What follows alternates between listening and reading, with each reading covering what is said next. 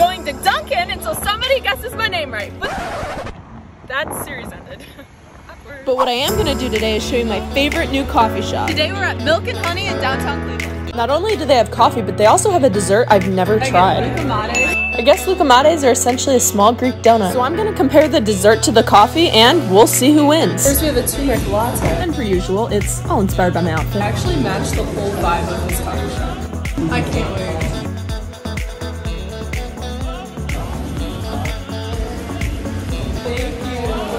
Like French fries definitely matches my outfit. Let's try it.